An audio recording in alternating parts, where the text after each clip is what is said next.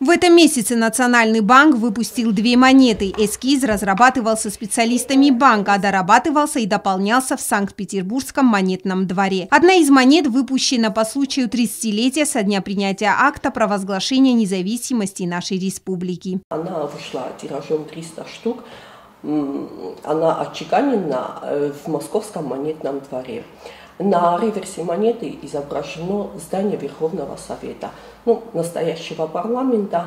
Э, на заднем фоне изображено солнце, как символ новой жизни, символ независимости. Э, количество лучей солнца соответствует числу депутатов, которые подписали акт. Вторая монета выпущена в ограниченном количестве, так как имеет особую ценность. Изготовлена она из золота 999 пробы, которая является самой высшей пробой. Поверхность монеты сделана из глянца и матового покрытия. Вторая монета – это золотая монета, она прямоугольной формы.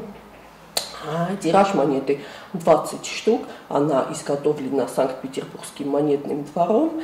А на реверсе монеты изображена картина великого художника, великого астинского художника Махарбека Туганова Нартыку.